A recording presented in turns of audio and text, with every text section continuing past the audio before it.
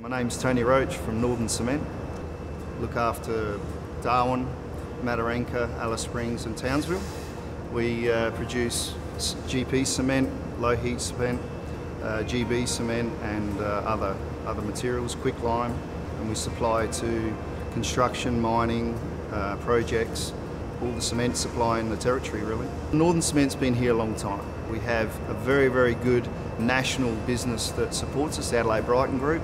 We have a very good operation with a logistics profile that allows us to store huge products behind our operation. So from a, from a chain of supply or a continuity of supply, we do it very, very well. It is a quite technical job what we do. We uh, make construction grade products that go into all sorts of industry, so it needs to be right. We can distribute 365 days of the year, 24 hours a day. We have very good capacity in our silos. It can be arranged from 500 tonne to 2,000 tonne a day. We've had we've had huge volumes leave this place. Um, we are local. We are we do manufacture here. Mataranka is very important to the local community and the industry. We spend a lot of money in the community. We have people that live there. Their families are there. We don't have any fly in, fly out.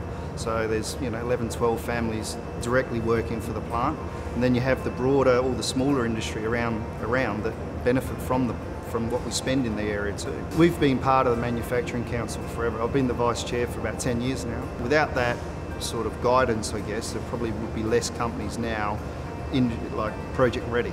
So I was part of that. It was a, yeah, it was very important.